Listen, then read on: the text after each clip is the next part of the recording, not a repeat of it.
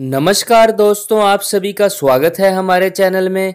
दोस्तों, हमारा चैनल हर सप्ताह निशुल्क ज्योतिषय परामर्श की सुविधा उपलब्ध कराता है। अपनी फ्री कंसल्टेशन पाने के लिए अभी हमारे चैनल को सब्सक्राइब करें।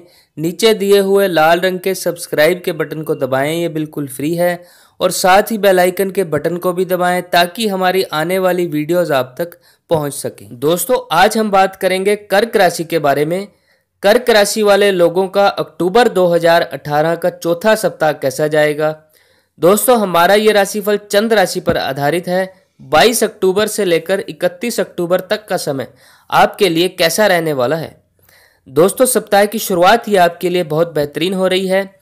अपने रुके हुए कामों में आपको बढ़त मिलेगी। मंदे की स्थिति समाप्त होगी। भाग्य का साथ आपको मिलने लगेगा। अपने काम को चलाने का भरपूर प्रयास आप करेंगे। आपकी मेहनत बढ़ेगी। आपको मेहनत से ज़्यादा फल भी प्राप्त होंगे। इस समय में भाग्य का अच्छा खासा साथ आपको मिलेगा, आपकी आमदन बढ़ेगी। हर तरीके से यह समय आपके अनुकूल रहेगा। लेकिन परिवार के सदस्यों के साथ मनमुटाव हो सकता है। इससे आपको बचना चाहिए, थोड़ा संभल कर चलें। दोस्तों, इस समय में आपको यात्राओं का योग भी बनेगा, धर्म में आपका विश्वास बढ़ेगा, धार्मिक यात्राएँ भी हो सकती हैं और अपने कारोबार के लिए भी आपको यात्राओं पर निकलना पड़ सकता है। मन आपका बहुत प्रसन्न रहेगा। घर में आपका मन नहीं लगेगा बाहर आपका मन बहुत खुश रहेगा। 24, 25 व 26 दोपहर तक का समय। कामकाजी गतिविधियाँ तेज गति से आगे बढ़ने लगेंगी। अपने कारोबारिक स्थल पर आप काफ़ी बिज़ी नज़र आएँगे। अपने कार्यस्थल पर कुछ बदलाव भी आप कर सकते हैं। अपने काम के लिए आप धन का निवेश भी कर सकते हैं। नए नए लोगों से मिलना जुलना होगा। आपका मान सम्मान समाज में बढ़ेगा। आपका रुतबा कायम होगा। एक नई पहचान आपकी समय में बनकर आएगी। जॉब करने वालों के लिए समय बहुत बेहतरी वाला है। इस समय में आपकी मन की इच्छाएँ पूरी हो सकती हैं। नए संबंध कायम होंगे, आपके टारगेट पूरे होंगे। अच्छी ऊंचाइयाँ आप इस समय में छू सकते हैं। 27-28 शाम तक का समय आपके लिए बहुत भाग्यशाली है। कर्क राशि वाले सभी जातकों के लिए ये दो दिन बहुत लक्की होंगे। हर तरीके से आपको शुभ समाचार मिलेंगे।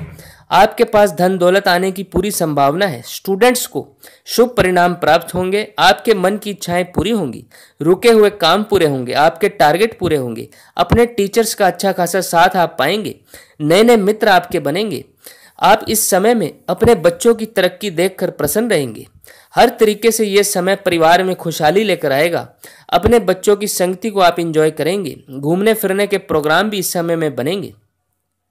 दोस्तों, उनतीस व तीस तारीख को आपको कुछ संभल कर चलना चाहिए। लंबी दूरी की यात्राओं से बचें। अगर यात्राओं पर जाना पड़ रहा है तो थोड़ी सावधानी रखें। अनजान लोगों से दूरी बनाएँ। तेज गति से वाहन आदि बिल्कुल भी ना चलाएँ।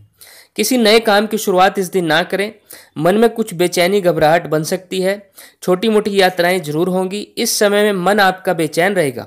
अपने घर में मन नहीं लगेगा। अपने छोटे भाई बहन के साथ बहस हो सकती है।